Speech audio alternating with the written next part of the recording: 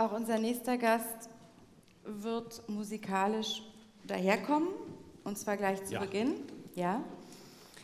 Wir begrüßen, wir freuen uns auf, sagen wir mal erstmal, Naja, berühmt, bekannt, der Aufklärer der Nation oder die Aufklärerin der Nation durch wahre Liebe, Lilo Wanders.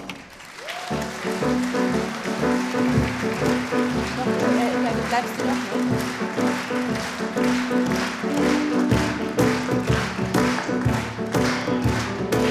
Ich bin der Typ, der niemals stille steht. Ich bin dabei, wenn bei euch die Post abgeht. Ich such was Neues, auch wenn's ein Alter ist. Und was gestern war, das hab ich nie vermisst. Ich bin die Wanders, Reno Wanders. Und ich mache alles mit. Für den linken Arm einen Jüngling, für den rechten einen Mann. Bitte kein Gedränge, es kommen auch Frauen dran. Und will ich wen beglücken, den jag ich voller Spaß, denn Menschen gibt's so viele, Menschen gibt's so was für die Wanders, Lilo Wanders. Und ich hab ein großes Herz. Diesem Spiel. Ich ziehe meine Bahn und erreich mein Ziel. Bei mir wird schließlich jeder einmal schwach. Und habe ich ihn umsingelt, dann sage ich Schach. Herzenstrumpf bei mir, jeder Stich zählt. Keiner hat's gemerkt, für heute habe ich schon gewählt. Und will mich wer begleiten, hier aus diesem Saal, na dem hau ich in die Seiten und trete aufs Pedal. Ich bin der Wanders, Lilo Wanders und ich hab nen langen Arm. Ja, willkommen, bienvenue, Mahlzeit, meine Lieben. Ich bin in meinem Leben schon manches Mal durch die Hölle gegangen. Ich habe ein paar Mal das Paradies gestreift. Ich habe viel gesehen und auch viel mehr erlebt. Neulich habe ich gelesen, der Schriftsteller Jan Weiler hat mich als virile Kirmeströte bezeichnet. Aber wisst ihr was? Ich will noch mehr. Macht euch jetzt bereit, der Countdown zählt. Es ist an der Zeit, dass ihr mich richtig kennenlernt. Flucht ist kein Entkommen, ich gebe kein Pardon. Und wer um Hilfe ruft, dann bricht zur Raison. Ich bin die Wanders, Lilo Wanders. Und ich mache alles mit, außer Bungee springen. Ich bin die Wanders, Lieselotte. Und ich hab ein großes Herz.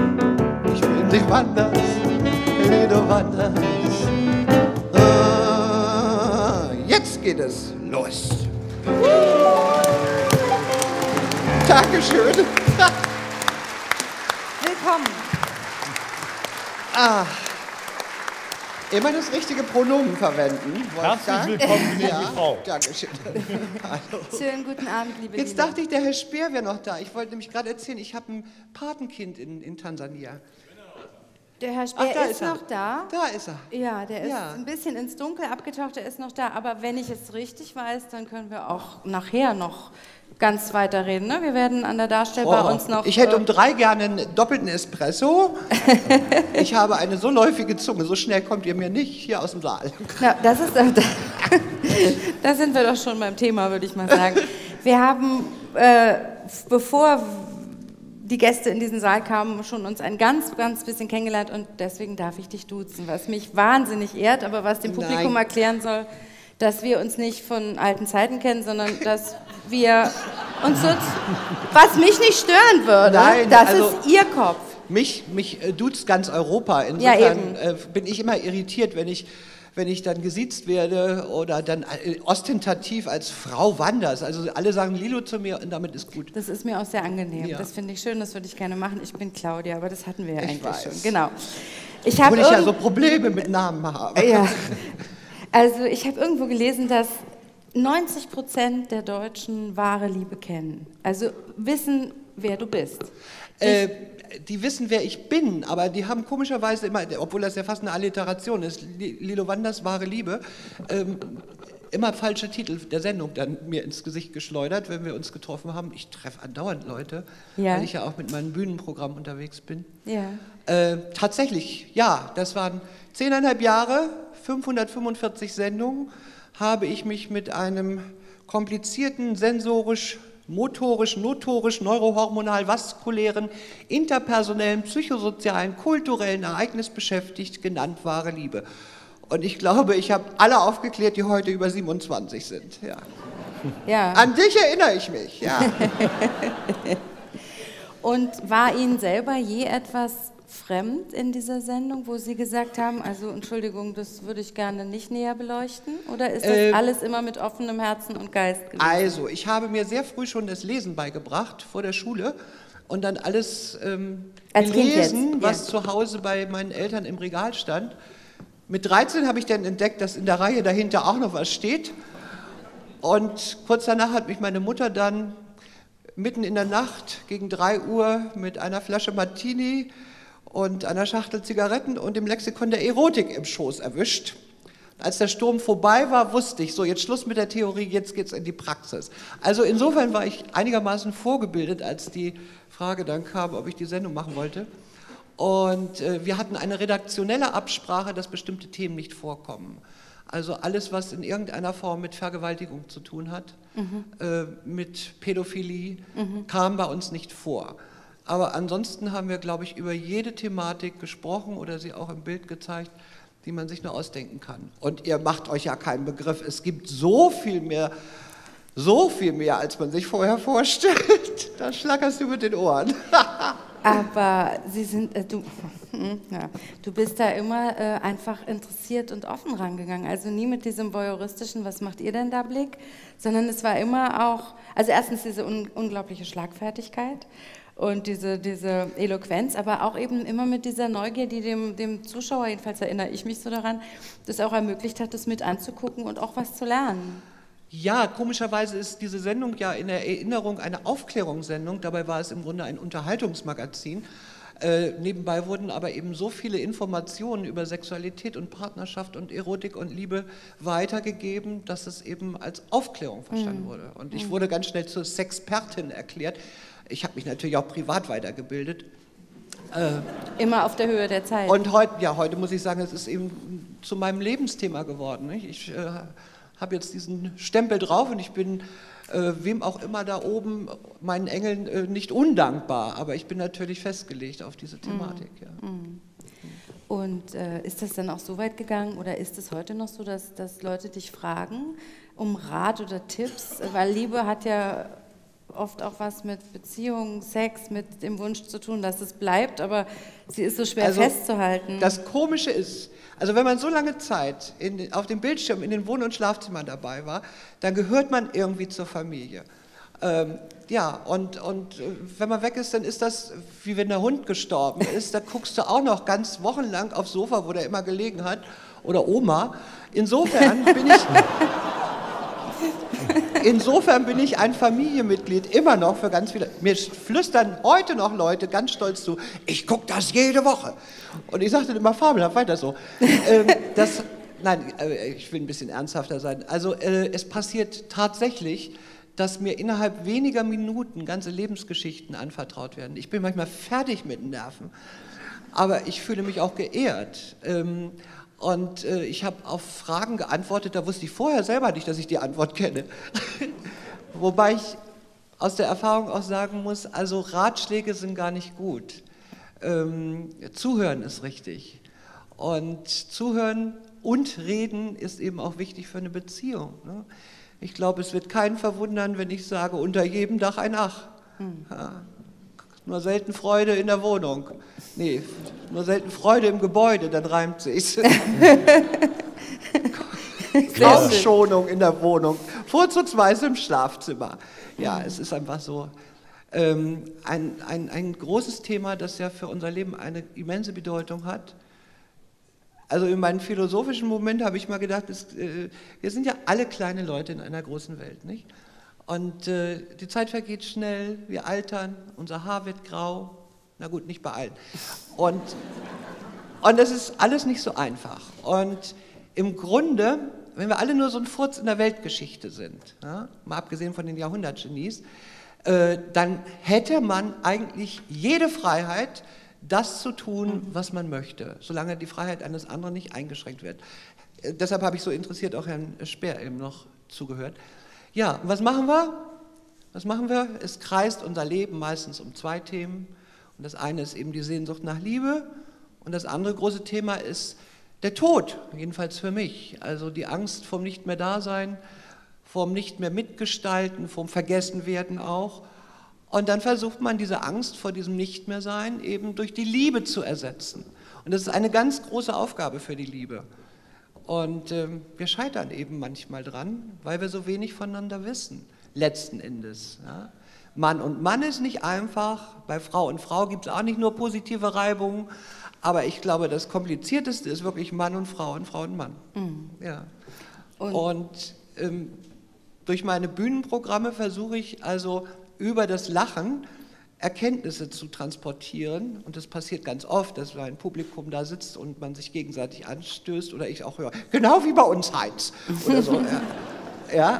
und ähm, dadurch kommt vielleicht was in Bewegung, dass Paare auch äh, kommunizieren oder wieder kommunizieren. Und man erlebt es doch im Alltag. Das muss ja nicht mal in der eigenen Ehe oder in der eigenen Beziehung sein. Aber was ich alles so mitkriege, ich habe aber auch Antennen, muss ich auch sagen. Also ähm, ich stand kurz vor Weihnachten auf dem Bahnhof, neben mir ein älteres Ehepaar. Naja gut, die waren in meinem Alter, aber als, als Ehepaar zu identifizieren, weil sie beide so mintgrüne Anoraks anhatten. Ja?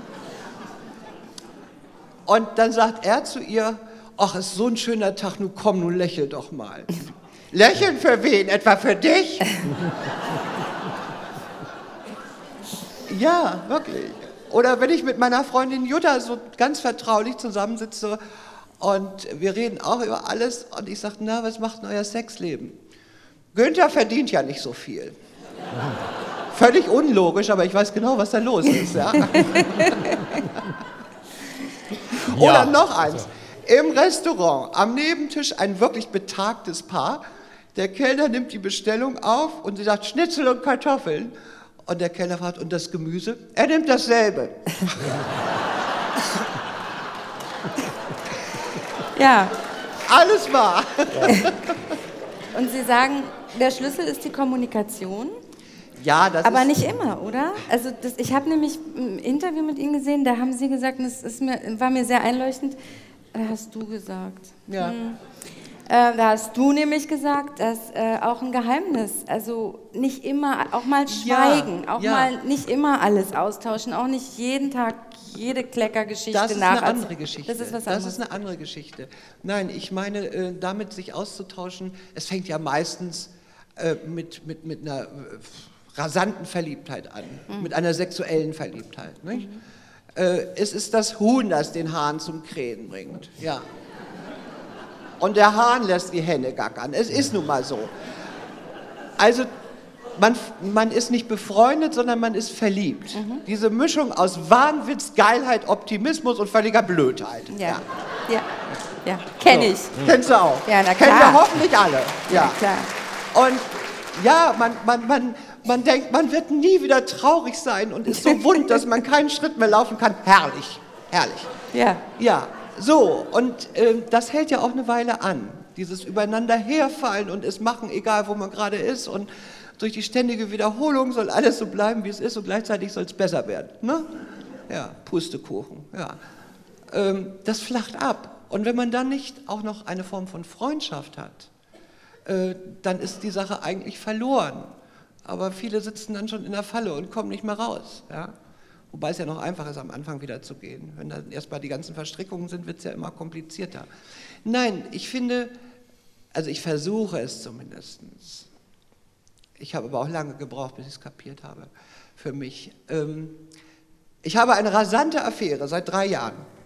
Und ich habe es diesmal ganz anders gemacht als die Male davor. Äh, ich habe alles ausgesprochen, was die Bettkante betrifft. Und ich habe mich alles getraut. Und das war eine große Befreiung für uns beide.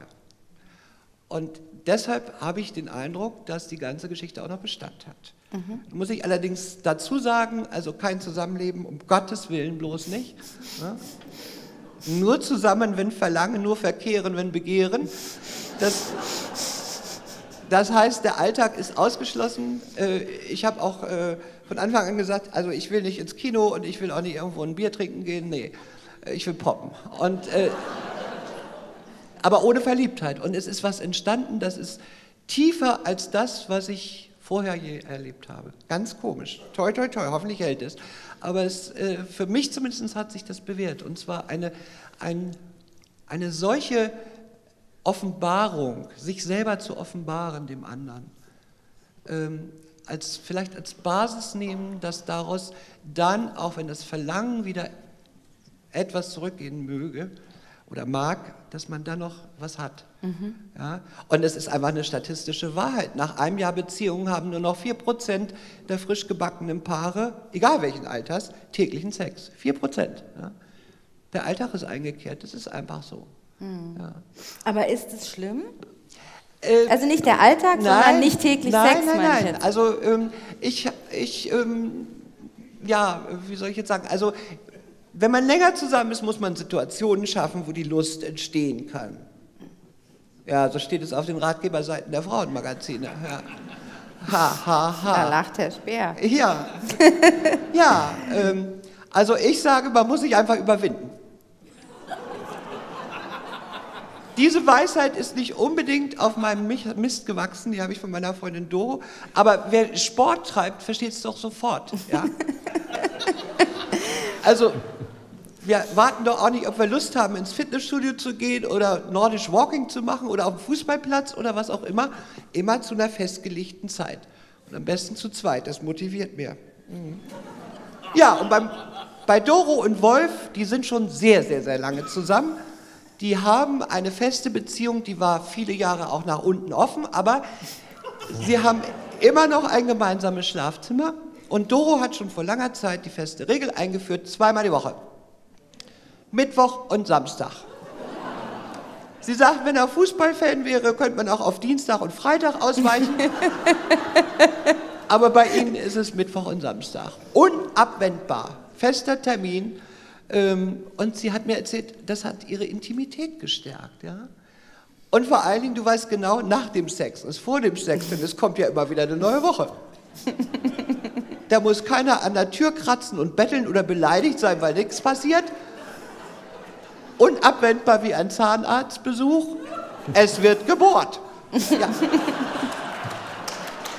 Und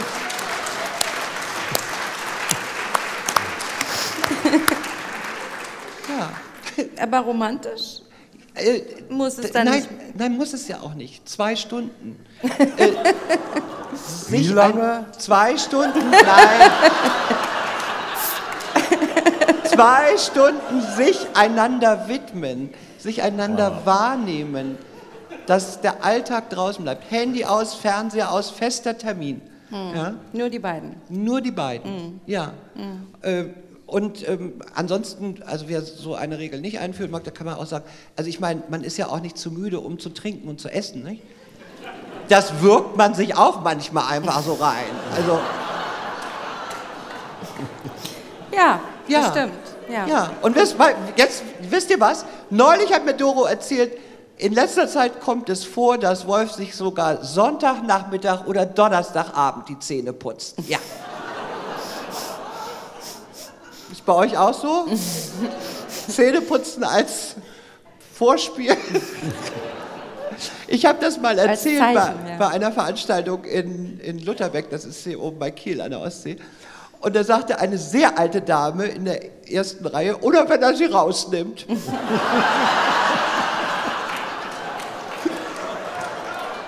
Das war, das war ganz entzückend. Ja, die war mit ihrem Mann bei mir im Programm und ich gehe hinterher immer ins Foyer und unterhalte mich auch mit den Gästen und habe die beiden dann getroffen und das war ganz entzückend. Die haben beide so rosig geglüht. Ja. Nicht, weil sie kurz vorm Schlaganfall standen, nein. Nein, ich sag's ja immer, geküsstes Fleisch leuchtet. Ja. Also ich finde, Das man ist kann ja ein sehen. wunderschöner Satz. Ja. Ähm, ja, und jetzt lass mich noch eben zu Ja, Ende bitte. führen. Ja, und dann haben sie sich nämlich doch in meiner Gegenwart in die Wolle gekriegt, ob sie 68 oder 69 Jahre verheiratet sind. Mm. Die waren beide 91 und das hat mich tief ber- berührt, weil, weil das war wenn man tief ins Herzen reinschaut, das möchte man doch, nicht? Gefährten. Man muss es bloß eben vorher pflegen. Also, ähm, wenn Mutti erst nach langen, langen Jahren in schwarzer, äh, schwarzer Unterwäsche im Schlafzimmer steht und Vati fragt, ist was mit Oma? ja, also. Dann sollte man vielleicht noch nach Alternativen suchen. Ja. So, ich war dir ins Wort gefallen. Nein, ich war dir, ich war dir ins Wort gefallen.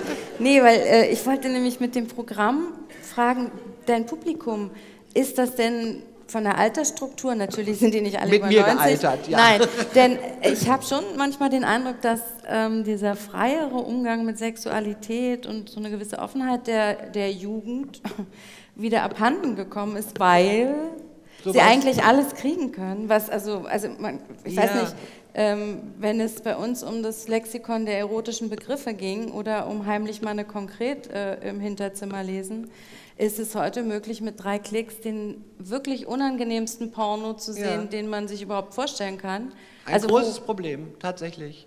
Äh, ein großes Problem, weil ähm, die äh, Jugendlichen, ich nehme jetzt mal so die Pubertären Ja, ja, und bis genau. Mitte 20 oder so, ähm, naja, ich meine, bis Ende 20 bist du doch emotional noch ein Teenager, oder?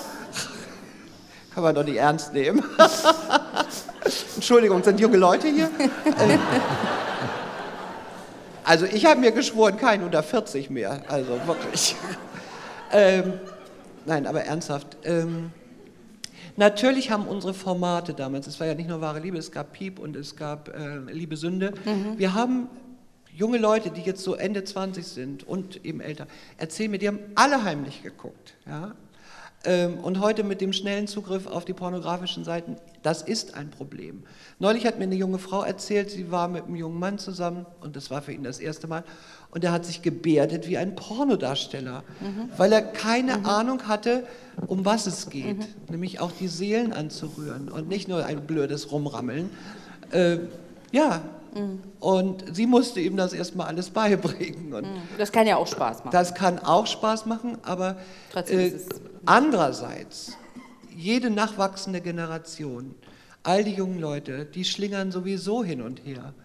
Und letzten Endes ähm, Informationen über sexuelle Vorgänge, die habe ich mir aus Vaterfelde äh, geholt, weil das in der zweiten Reihe bei meinen Eltern stand, die vollkommene Ehe, ja.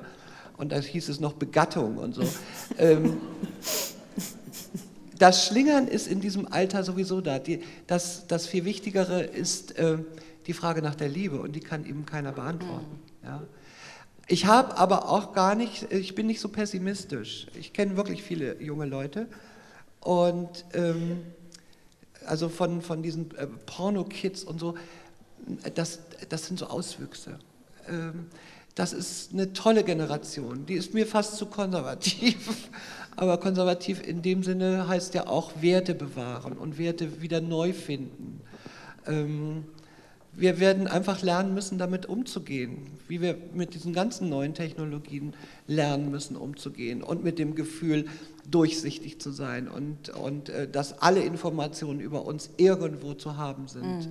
Und dass wir über das Internet äh, völlig, äh, ja, wir sind einfach durchleuchtet und wir kriegen Angebote von Waren, weil man weiß, dass wir uns da vielleicht für interessieren. Also es ist ein, ein großer Kulturwandel, sowieso.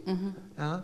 Und ich äh, will aber auch nicht rumjammern. Also ich, ich bedauere es natürlich, dass junge Leute ähm, im Grunde nichts mehr wissen über kulturelle Vorgänge von vor 40, 50 Jahren.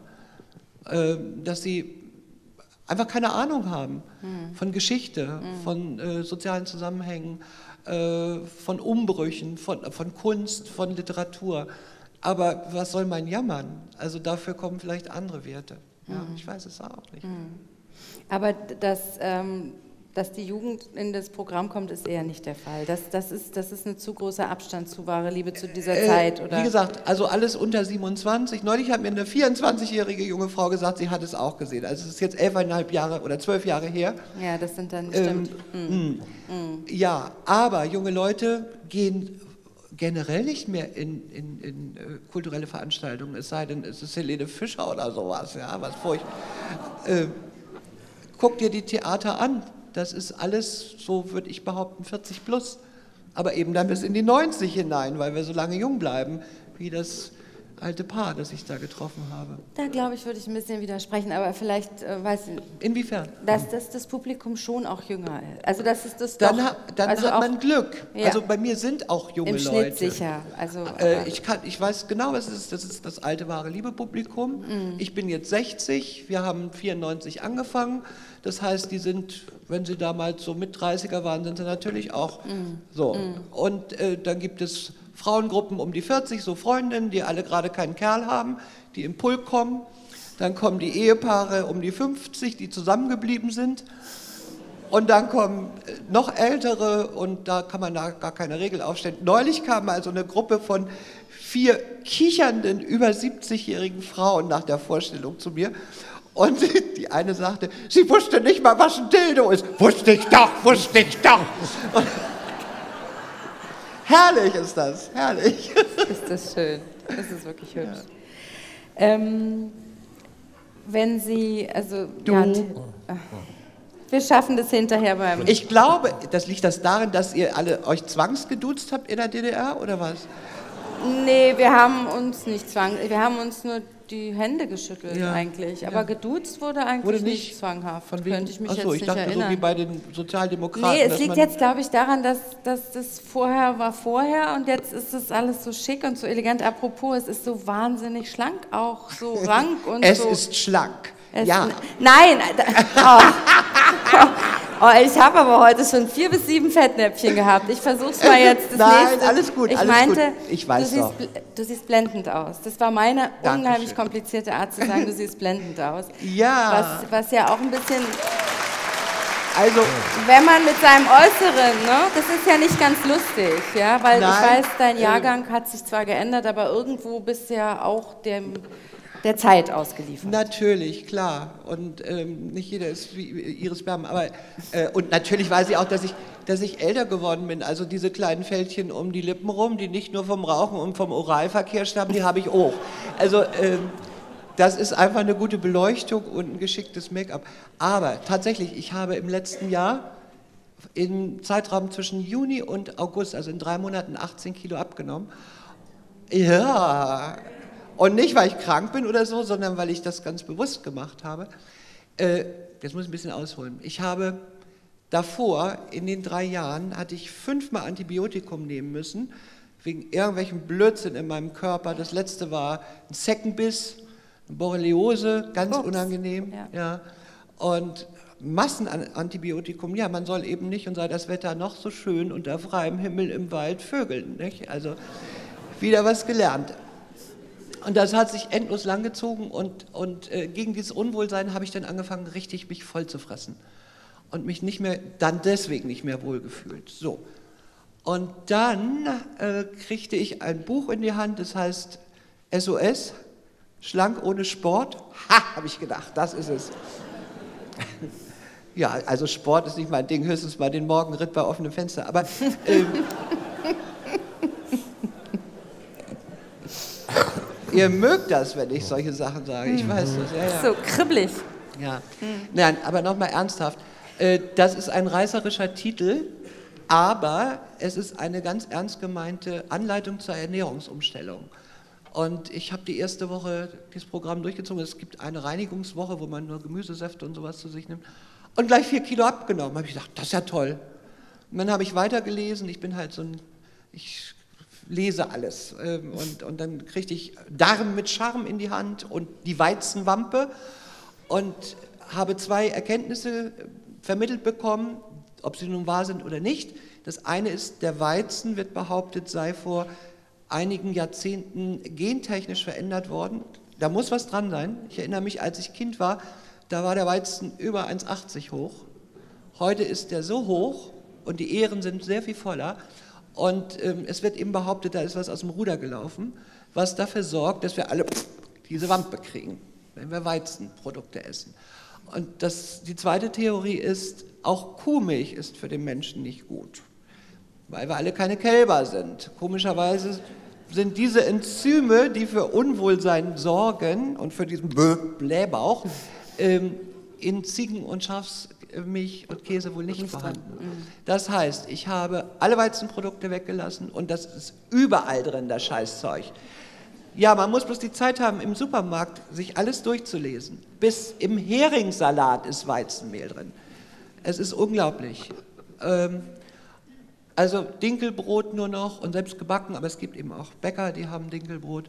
So, und dann eben, ja, keine äh, Milchprodukte mehr. Und es geht dir gut damit? Also es geht mir gut. Ich bin früher mit, nach, ich habe einen etwas ungewöhnlichen Schlafrhythmus, also um zwei noch mit einem Brotbrett mit drei Broten, dick belegt, fingerdick mit Butter und dann nochmal doppelt so dick Camembert obendrauf, zu Bett gegangen, so ungefähr.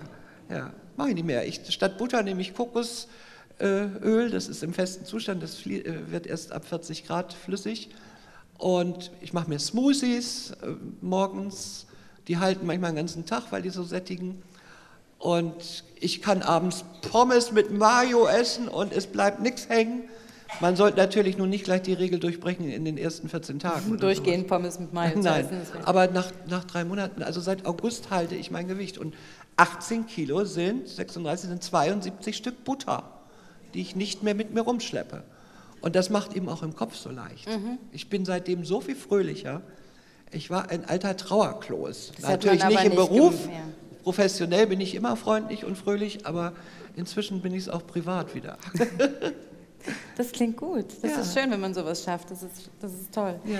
Würdest du uns denn noch weiter was zum Abschied singen? Würdest du das machen? Ich würde, wenn wir jetzt noch mal mit Thomas ein bisschen äh, an der Akustik kurbeln. Ich höre mich selber auf dem Monitor nicht. Und die Mucke muss auch ein bisschen lauter sein auf dem Monitor, weil eben äh, bin ich fast aus der Kurve geflogen. Jetzt muss ich ein bisschen was erzählen. Ich habe zwei Songs vorbereitet, ich habe seit, die habe ich seit Jahren nicht mehr gesungen. Ähm, ich habe aus einem alten Programm ein Stück, also ich werde ja in der Öffentlichkeit immer Hamburg zugeschlagen, mhm. aber ich bin ein Kind der niedersächsischen Provinz äh, in Celle geboren. Das ist eine kleine ja, Stadt in der Lüneburger Heide. Gewohnt haben meine Eltern da nicht. Wir wohnten in einem Dorf bei Walsrode, das ist vielleicht einigen ein Begriff. Mhm. Vogelpark, Walsrode. Da hat mir eine ganz in den Finger gebissen, da war ich drei. Ach was? Ja, also ich sag's nochmal. Ja. Mhm.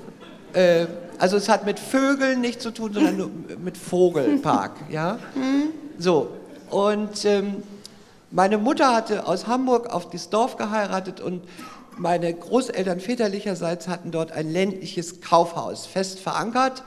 Der Alte kam aus Sachsen, hat dann aber sich den Dialekt abgewöhnt und, und Plattdeutsch gelernt, damit er mit den Bauern Geschäfte machen konnte.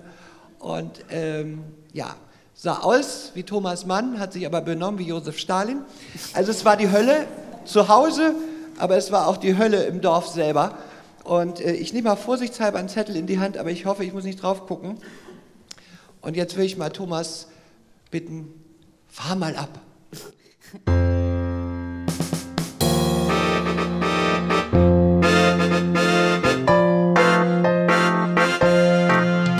war ein kleines, mieses Nest in der Provinz, es stank nach Mittelmäßigkeit. Nach Langeweile, Bier und Bosheit, nach Moral, nach Naphthalin und Neid. Da wo der Gehsteig nie geleckt war, wo es Samstag streng nach Badewasser roch. Da wo der Dreck so gut versteckt war, aber aus den Ritzen stank es doch. Da wo des Lehrers Tochter schwanger wurde und sich dann aus Scham das Leben nahm. Ich gehe niemals mehr zurück in dieses Dorf, aus dem ich einmal kam. Waren scharf rasiert, gescheitelt und auch sonst adrett. Die Frauen trugen Dauerwellen aus Beton und ein Korsett. Der Puff lag gut versteckt im Wald, da fiel er auch nicht weiter auf. Nur freitagsabend stand die Autoschlange bis zur Bundesstraße rauf. Und bis zum nächsten Mal war man als Ehemann dann wieder monogam. Ich gehe niemals mehr zurück in dieses Dorf, aus dem ich einmal kam. Es war ein mieses kleines Nest in der Provinz, wo jeder jeden kennt. Da, wo man keine Fragen stellt, weil man sich ja sonst den Mund verbrennt. Man stattdessen mit dem Opernglas durch die Gardinen späht. Es wussten viele was und trotzdem hat kein Hahn danach gekräht. Als in der Jauchegrube eines Tages ein abgetriebener Fötus schwamm. Ich gehe niemals mehr zurück in dieses Dorf, aus dem ich einmal war ein mieses kleines Nest in der Provinz, das ist es wohl noch heute. Ein Dorf mit Schweinemast und Schützenfest und Bürgermeister mit Vergangenheit. Sie haben garantiert inzwischen eine Autowaschanlage aufgestellt und einen Tennisplatz im Grünen, die Obstallee gepellt. Ewig blühen die Geranien, sehen schön aus und stinken ganz im Farb. Genauso wie das ganze gottverdammte Dorf, aus dem ich einmal kam.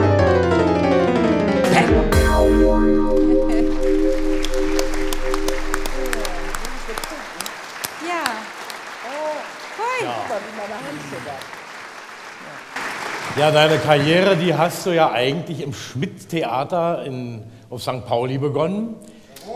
Ja. Ich, Ich bin ein, ich sage immer, ich bin eine geborene Schmidt. Eigentlich dürfte ich jetzt hier rauchen. Also die Schmidt-Mitternachtsshow gehört ja mal zu meinen Lieblingssendungen, muss ich mal sagen. Jetzt, wo du mich persönlich getroffen hast, nicht mehr. Nee, aber da warst du so eine Parodie der Könige. Das ist richtig. Ich habe als äh, Parodie auf, als Persiflage auf Evelyn Kühnecke angefangen. Ich weiß nicht, kennt ihr die überhaupt noch? Ja, Ah, das ist ja toll. Ja, die Komponistentochter. Ja. Eduard Kühnecke, der Vater, also Evelyn ist mit einem goldenen Löffel in allen Öffnungen aufgewachsen. Die waren. Äh, du guckst immer so verschämt. Ja, ich bin so ja. verschämt. Nein, also der, der äh, Eduard Kühnecke war nach den damaligen Begriffen tatsächlich Milliardär. Also die waren schweinereich. Und ähm, die Kühnecke war ein überflüssiges Kind, hat sie mir auch erzählt. Ja? Ich war ein überflüssiges Kind. Meine Eltern hatten aneinander genug. Mein Vater hat mich manchmal so geschlagen, dass ich bis ins nächste Zimmer geflogen bin. Pianist, die haben so kräftige. Ja? Und kennengelernt habe ich sie, dir will ich es ja auch erzählen. Ähm, ich habe sie interviewen sollen bei einem Festival in Nürnberg. Das war schon Anfang der 80er. Und ähm, ich saß in einem Mini-Hotelzimmer, Knie an Knie mit ihr. Sie hat zwei Schachteln HB von mir aufgeraucht. Und ich habe dieses Interview äußerst ungeschickt angefangen, weil ich sagte, Frau, voller Verehrung, Frau Kühnecke, ich habe ganz viele Schellackplatten von Ihnen. Oh weia, erzählen Sie mir doch nicht, was ich in meinem Leben gemacht habe, ja? Das wollen wir doch gleich mal abblocken. Stellen Sie mir Ihre Frage, ich werde sie mir anhören und dann entscheiden, ob ich darauf antworte. So, also es, es war wirklich ganz schlimm. Äh, diese zwei Stunden in diesem Hotel, also, oh Gott, oh Gott, oh Gott. So, und ich hatte aber dieses Interview eben mitlaufen lassen und dann ähm, abgetippt und an diese Zeitschrift gegeben. Und Jahre später, als wir das Schmidt-Theater eröffnet haben, im ersten Jahr, wollten wir ein Theaterstück auf die Bühne bringen, das hieß Blaue Jungs. Blaue Jungs war der Name eines fiktiven Hotels in Hamburg-St. Pauli mit der Wirtin Marlene Jaschke. Und unter anderem sollte auch eine etwas runtergekommene, aber immer noch sehr ähm, von sich überzeugte Schauspielerin, Sängerin absteigen. Und der Regisseur sagte, gab mir die Aufgabe, sagte, also die heißt Wanda Golokowski und ähm, zwar 89, die kommt aus der DDR und war da mal ein Star, ist aber längst vergessen. Da habe ich gesagt, also nee, tut mir leid, da fällt mir nur Gisela May ein, ich brauche immer ein Vorbild. Aber ich habe das Interview mit der Königin noch irgendwo in der Schublade liegen. Ähm, und dann habe ich das als Vorbild genommen, um diese Rolle zu gestalten. Und Wanda Golokowski klingt ja auch scheiße. Da habe ich gesagt, ähm, Wanda ist aber gar nicht schlecht. Die wandert schon seit Jahrhunderten über die Erde und hat immer schlechte Laune und pestet so rum.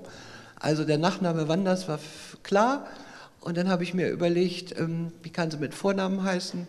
Ja, Lieselotte Pulver war damals so auch ähm, um die, äh, in dem Alter. Habe ich gesagt, die heißt jetzt Lieselotte Wanders. So. Und damit hatte ich mich selber erfunden. Und soll ich noch mehr? Ich, ich meine, die Uhr läuft, ne? Ja, die Uhr läuft, aber. Ähm, ein, noch ein bisschen. Noch, noch ein ganz geht, bisschen. Einer geht noch. So, und wir haben dieses Stück im Schmidt über 180 Mal gespielt und irgendwann in der, so, ich sage jetzt mal, 138. Vorstellung sitze ich da auf der Bühne als Lilo Wanders, also Persiflage Künike, und sie zieht einen vom Leder. Gehen Sie mir weg mit Politik. Alle haben sie mich betanzt auf dem Bundespresseball. Adenauer, Erhard, Kiesinger, Brandt, Lübcke, Heuss, Genscher und Lambsdorff. Wussten Sie eigentlich, dass Graf Lambsdorff ein hervorragender Tango-Tänzer ist? Oder war das Goebbels? So. Okay, der Nachsatz war von mir. Aber ähm, ich sag das und da kommt aus dem Publikum, richtig, genau so war's. Und das, da saß sie da und hat sich das angehört. Und ähm, ja, wir haben uns richtig angefreundet. Sie, äh, ähm, äh, ja, sie war eben ein ungezogenes altes Kind und ähm, außerdem eine, eine Mythomane, Pseudologica Fantastica ist das Krankheitsbild. Das sind Menschen, die erfinden ihr Leben und machen sich damit wichtiger. Und das ist, trifft. Und je öfter sie die Geschichten erzählen, desto, desto mehr glauben sie sie. Selber. Und ja. es sind dann auch meist so geschickt ausgedachte Geschichten, dass man nicht nachprüfen kann. Mhm. Also Evelyn hat mir auch erzählt, ich, ich bin erblindet, als ich Rotterdam bombardieren musste. Äh, seitdem muss ich diese Brille tragen. Äh, also sie hat Geschichten erzählt. Mit 14 war ich die jüngste Balletttänzerin an der Deutschen Oper in Berlin. Aber dann wurde mein Busen schnell zu gewichtig. Also habe ich Steppen gelernt. Ich war Europas beste Stepptänzerin. Also ich kann es jetzt leider nicht alles erzählen. Ich habe sie sehr geliebt. Ich habe sie wirklich geliebt. Und ähm, sie hatte ja eine Karriere mit Wellen. Also sie war ja schon als junges Mädchen mit Sing nach der Sing. Ne? Äh, ein großer Star. Und dann in den 50ern vor allen Dingen Skandalnudel. Ähm, mit allerdings sprach die Sphinx, rückt das Dings mehr nach links und sie an, auf einmal ging's unheimlich pikant, ja. Ja, und das und in den 50ern. In den 50ern. Mhm. Also sie war die Skandalnudel und ähm, der Stern schrieb über sie, sie trank mehr als sie sang. Und, und später hat sie mir erzählt, ähm, Rosa von Braunheim hat sie dann ja in die weitere Karriere geführt in den 70ern. Äh, Rosa war der Meinung, ich sei eine deutsche Jane Mansfield, nur verlebter. Die ist ja jung gestorben, Glück gehabt rüber ab beim Autounfall. Ich bin viel besoffen gefahren, ist aber nie was passiert. So.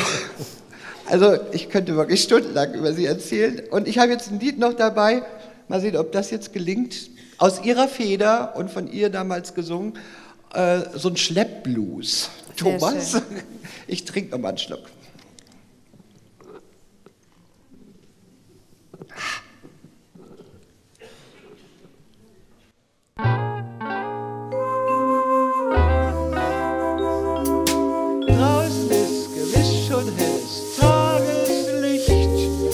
lass den Vorhang zu, ich ertrage es nicht, wüsste, wo hier Tabletten sind am Morgen. Danach malerisch die Gläser mit dem Lippenrot, dumm, dass man bei jedem Schritt zu kippen droht, wenn ich nur wüsste, wo ich hier Tabletten finde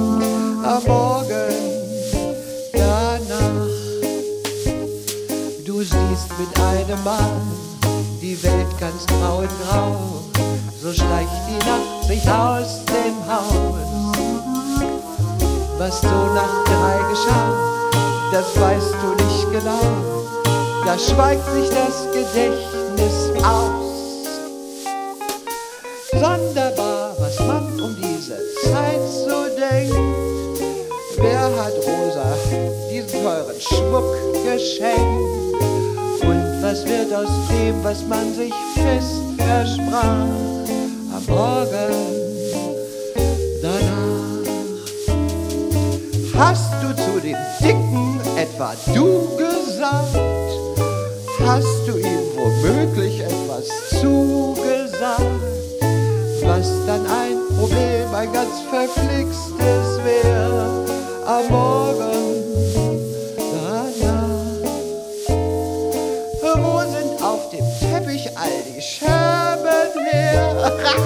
Becky glaubte sich noch zu verderben wer.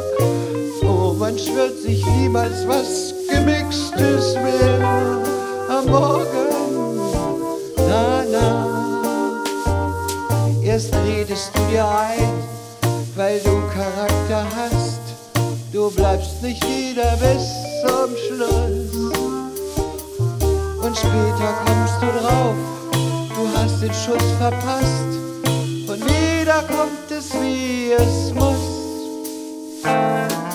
Lauter volle Aschenbecher schauen dich an. Aus dem Spiegel guckt ein müder Clown dich an.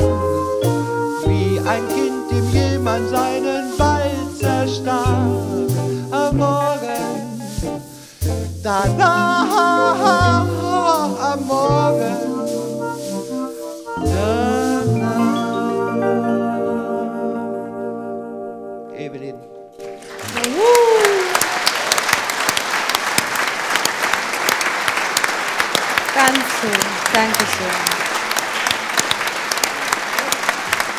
Ja,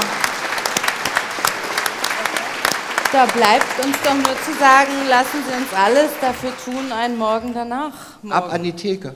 Ja, ich finde auch, das ist das Lied zum, ja. zum in die Nacht gehen. Genau. Machen wir das. Machen wir das. Wir bedanken uns. Ja, das war uns. unser 13. Mods Talk. Und genau. jetzt ist das Stichwort gefallen, ab an die Theke. Genau. Eine Etage tiefer geht's weiter, natürlich mit unserer Mods Show und Talkband.